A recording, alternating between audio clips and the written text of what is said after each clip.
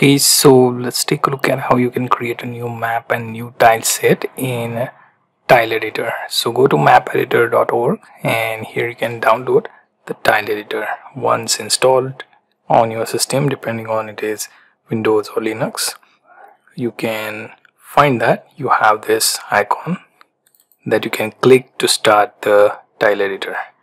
Okay by default you can see i already worked on few projects which i'm going to close so this is the default screen that you get atlas 16.tsx okay which is tile set. So let's close this one as well.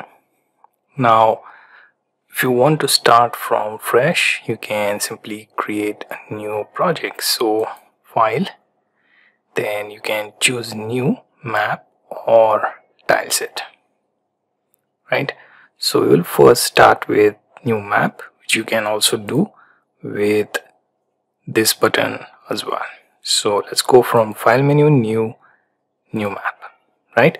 Now here what you'll find that it will show you option for orientation. So if it's your rpg game or basically platformer then orthogonal should be selected.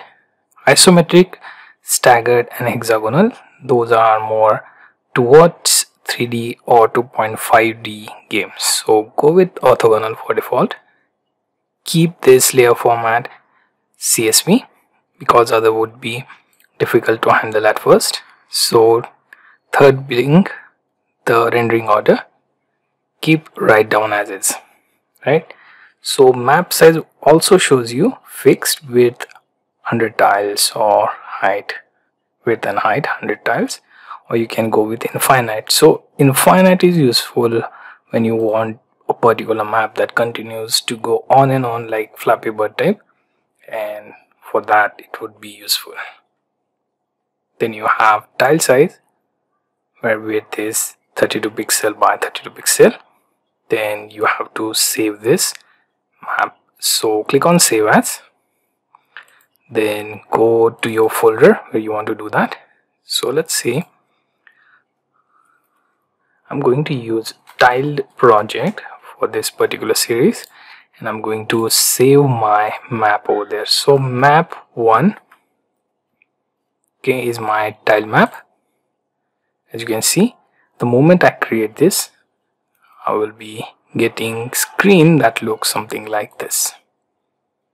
So we have our map then we want to create a tile set right so we go to file, new, new tile set. Now here we have to add some names. So let's say tile underscore set 1 right? And here you will be asked whether to embed in map or not. Currently don't choose this. Then you have based on tile set image that we will be adding as a source.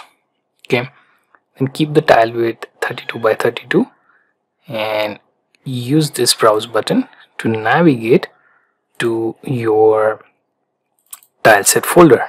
Now I already downloaded RPG tileset from OpenGameArt and itch.io so can see this in here. So I want to create RPG map. For that I want to use basically greenery or some desert that looks something like this right? So I will choose this grass. Open. Now click on save as and choose your current project folder. Save it. Okay. Now that you have seen how to create your map and also your tile set now tileset can be accessed from your map okay? And if you click on the one of the tile you can go ahead and drop it on your map. So currently map is 25 percent zoomed. Change that to 100 right?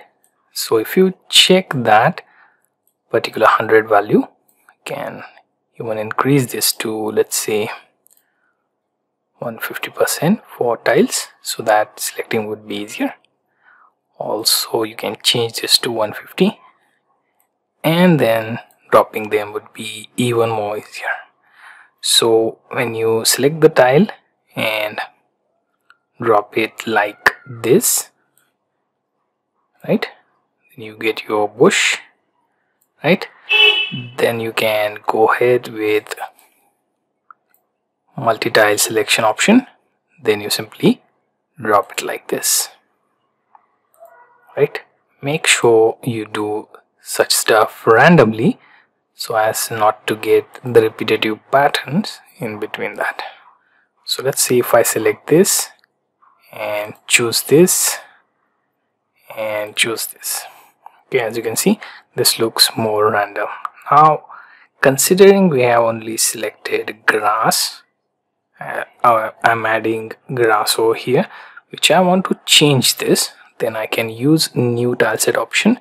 So new tileset select this then add the name again and then choose from your downloaded tile sheet and then keep dropping on your map.